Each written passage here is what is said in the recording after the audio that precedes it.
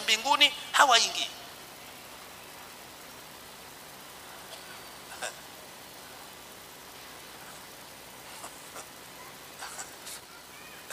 Dini ni ya lazima maana hata mungu anamwambia yoeli nikusanyie kusanyiko la dini. Yakobo anasema dini iliyo safi. Ipo dini. Mtu anayesema mimi sina dini yoyote. Ni mshenzi. Na washenzi mbinguni hawaingi jamani mshenzi sio tusi. Mtu asiye na dini anaitwa nani? Mshenzi. Sio mpagani. Upagani ni dini. Yaani mtu yupo huyu ambaye hata upagani hana. Yeye ni mshenzi.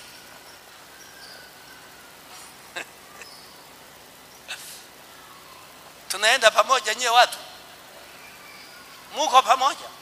Kwa hiyo sasa mmenielewa? Ha?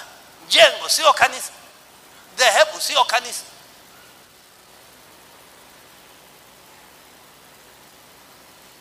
lakini dhehebu linaweza kuwa kanisa tu. Kama litafanya nini? Litakuwa na sifa zote za kanisa la nani?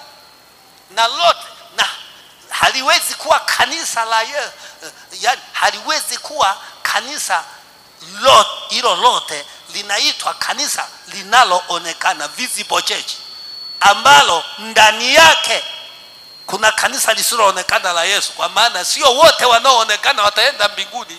Kuna wengine wasindikizaji.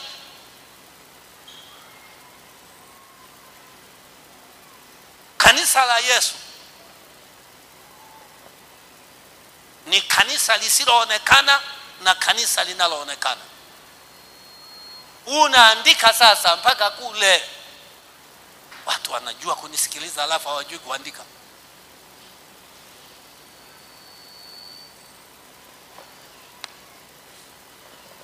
kanisa lisiloonekana ni jumla ya watakatifu wote walioandikwa katika kitabu cha uzima cha mwanakondoo.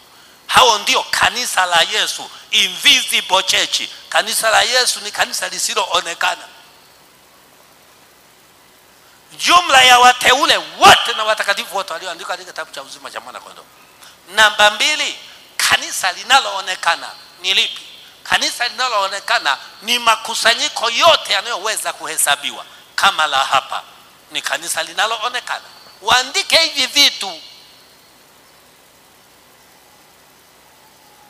Tunaweza kuwahesabu. Kusanyiko la mali pamoja hata nchi nzima hata dunia nzima wanaweza kuhesabiwa. Andika hivi vitu.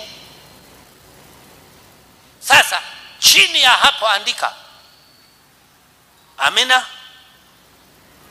Wajibu wa kanisa linaloonekana. Wajibu wa kanisa linaloonekana ni kulifunua kanisa lisiloonekana. Yaani wajibu wa gospel campaign ni kuhakikisha maisha ya gospel campaign yanalidhihirisha kanisa lisiloonekana. Yanaishi zile kanuni za yesu linaishi yale matakwa inaishi zile taratibu zote za kimungu. Wajibu wa kanisa linaloonekana wajibu wa madhehebu pamoja na makusanyiko sio kutekeleza liturugia zao na dogma zao. Kazi ya kwanza ni kulifunua kanisa la yesu. Dhehebu haliwi bora au si bora kwa sababu ya jina jina tunaweza tukabadili leo badala ya tag tukajiita mti mkavu. Haina shida jina. Ubora au kutokuwa bora kwa dhehebu ni kwa kiwango gani?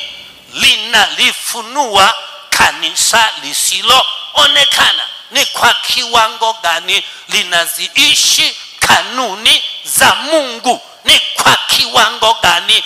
Watu wake wanaishi maisha ya kumdhihirisha yesu. Ni kwa kiwango gani? Hilo dhehebu linafundisha kwa usahihi neno la mungu. How much authentic is the theology of that particular denomination? Agosha.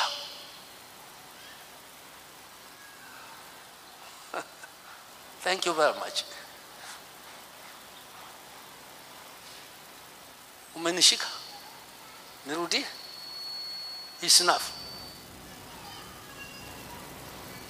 Like, si kuishi tu lakini pia kwa kiwango gani linafundisha usahihi linaitafsiri injili kwa usahihi linaitafsiri bibilia kwa usahihi.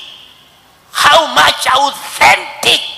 Kwa sababu priority is accuracy mimi ni mwalimu wa hermeneutics wa kutafsiri maandiko. Lengo kuu katika kutafsiri maandiko ni usahihi. Accurate. Ndio namba moja. Usahihi.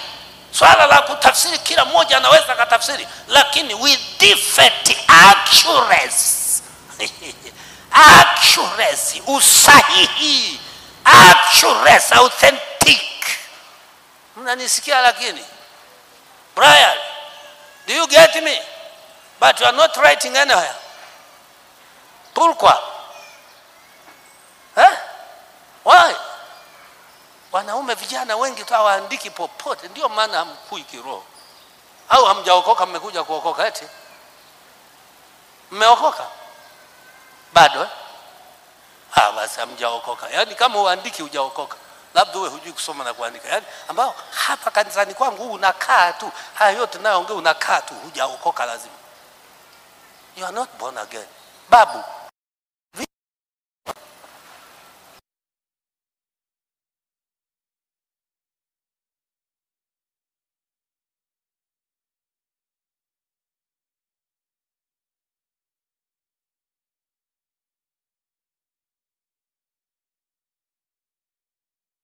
na vingine vingi kinyume na maandiko yamejifuta yenyewe haleluya na dunia iseme amina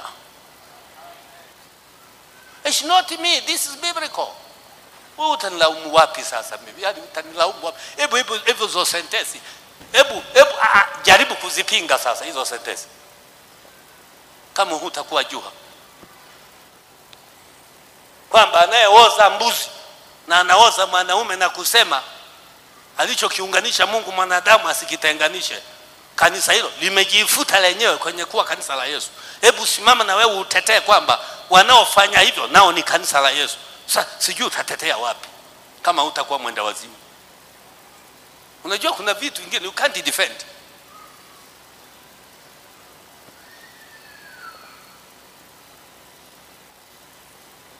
Pamekaa vizuri hapo eh? Kanisa la Yesu pia linaingiza na kutoa, is both inclusive and exclusive. Mshike mwe mnaandika nye watoto wangu jamani, linaingiza na kutoa. Yani ndio, yani haya maelezo unayoyaeleza ndio unatakiwa ukionana na mtu akikuuliza kanisa nini, umpe haya maelezo yote. Hivyo vimaelezo vyako vya kuwa kama mtoto andaanza kuota meno, sio maelezo hayo, ni ujinga ujinga. Unajua kanisa la Yesu sisi tuko, unaongea nini? Argue with the data, binti yangu we.